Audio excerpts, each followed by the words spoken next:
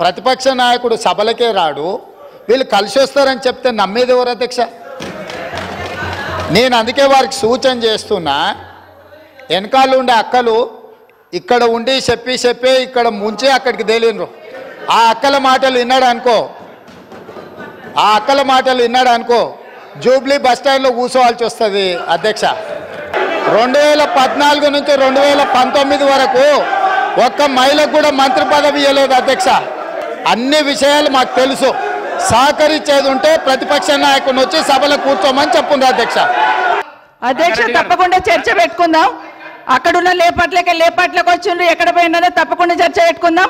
గౌరవ ముఖ్యమంత్రి గారు ముఖ్యమంత్రి అయిన తర్వాత కేసీఆర్ ఇంటి మీద వాళ్ళ కాకి నా ఇంటి మీద వాళ్ళతో కాల్ చేస్తాడు ఎంతమంది ఉన్నారు అధ్యక్ష ఇప్పుడు అక్కడ? ఎందుకు చేర్చుకున్నారు అధ్యక్ష? గౌరవ ముఖ్యమంత్రి గారు ఎంజాయ్ చేస్తున్నారు ఇప్పుడు మాట్లాడుతుంటే. గుండె మీద చేసుకొని చెప్పాలి అధ్యక్ష ముఖ్యమంత్రి గారు కూడా. ఆ రోజు నేను అక్కగానే ఆశీర్దించిన ఆ రోజు పార్టీలోకి వస్తున్నప్పుడు ఒక అక్కగా ఆశీర్దించిన బాబు నువ్వు చాలా పెద్దగా ఎదుగుతావు. ఈ రాష్ట్రానికి ముఖ్యమంత్రి అవుతావు. రాయి పార్టీలకని ఆహ్వానించిన నేను. ఈ రోజు మరి నన్నెందుకు కక్ష తీర్చుకుంటున్నాడు నాకు అర్థమైతలేదు ప్రతిసారి ప్రతి అసెంబ్లీలో ఒక ఆడబిడ్డ బాధ అవుతుంటే వినే స్థితిలో లేరా? వినే స్థితిలో లేరా మీరు? ఎందుకు నన్ను టార్గెట్ చేసిండు? ముఖ్యమంత్రి గారు ఒక మాట అన్నారు కేటీఆర్ గారిని. నీ వెనక కూర్చున్న అక్కలను నమ్ముకోవద్దు మోసం చేస్తున్నాను ఏం మోసం చేసినాం అధ్యక్ష? ఏం ముంచినాం అధ్యక్ష? ఈయనను ముంచినాం అధ్యక్ష? ఈయనను బతిన్లాడి పార్టీలోకి రా తమ్ముడు అని చెప్పి నువ్వు వస్తే భవిష్యత్తులో ఈ పార్టీకి నువ్వు ఆశాకిరణం అవుతావని చెప్పి పార్టీలకు ఆహ్వానించిన లేదా గుండె మీద చేసుకొని చెప్పమనండి అధ్యక్ష. ఎందుకు టార్గెట్ చేస్తున్నావు? ఏం మోసం చేశాం? ఎలక్షన్లు వచ్చినప్పుడు కూడా నా కాన్ఫిడెన్స్ అట్లే కానీ అధ్యక్ష. సభ పొద్దున ఒక మాట మాట్లాడుతుంది. ఏం మాట్లాడినాం? పొద్దున ఒక మాట రాత్రి ఒక మాట. ఎవరిని అవమానిస్తున్నావు? ఒక్కసారి ఆలోచించండి మంత్రి ముఖ్యమంత్రి గారు. ఎందుకు అవమానిస్తున్నావు? ఎందుకు కక్ష? ప్రతిసారి టార్గెట్ చేస్తున్నావు. ఈరోజు ఏం మోసం చేసినాం? మేము ఆడబిడ్డలం. విత్డ్రా చేసుకోవాలి అధ్యక్ష. మంత్రి గారు.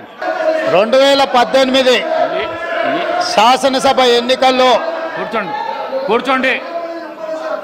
రవిశేఖర రెడ్డి గారు. నేను కొడంగల్ శాసనసభలో. ఓడిపోయిన తర్వాత కూర్చోండి. కూర్చోండి. రెండు వేల పంతొమ్మిది పార్లమెంట్ ఎన్నికలు వచ్చినప్పుడు కాంగ్రెస్ పార్టీ నన్ను పార్లమెంటుకు పోటీ చేయమని అన్నప్పుడు ఇదే సబితక్క ఇంటికి వెళ్ళి ఇదే సబితక్క నన్ను పిలిచి నువ్వు మల్కాజ్గిరి పార్లమెంట్లో పోటీ చేయి ఎన్నికల్లో నీకు అండగా నిలబడతా అని నాకు మాట ఇచ్చి పార్టీ నన్ను? ఎంపీగా డిక్లేర్ చేసిన? మరుక్షణం టిఆర్ఎస్తో మాట్లాడుకొని పోయి టిఆర్ఎస్లో చేరింది అధ్యక్ష.